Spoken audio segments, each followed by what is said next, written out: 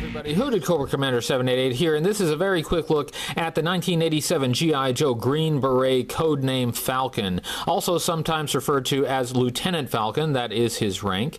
Uh, and uh, Falcon was a figure that came out kind of late in the line for me. I got out of collecting G.I. Joe as a kid somewhere in 1988, so this would have been one of the last figures that I would have gotten as a kid uh, out of that vintage G.I. Joe line. But you can see why I wanted it. I mean, this guy looks awesome. This figure looks like what you would expect a G.I. Joe figure to look like. He's green, he's gamma, camouflage, he comes with some great military equipment, just re- looks really excellent. He has this communications backpack with this antenna here, that is removable, and that does get lost frequently. He also has the knife that goes into the backpack, that's removable as well.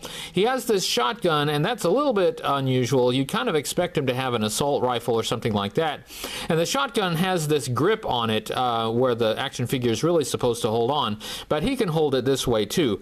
Uh, an excellent figure, excellent accessories. I look forward to reviewing this one, and I hope you'll stick uh, around and uh, watch my other G.I. Joe reviews coming up.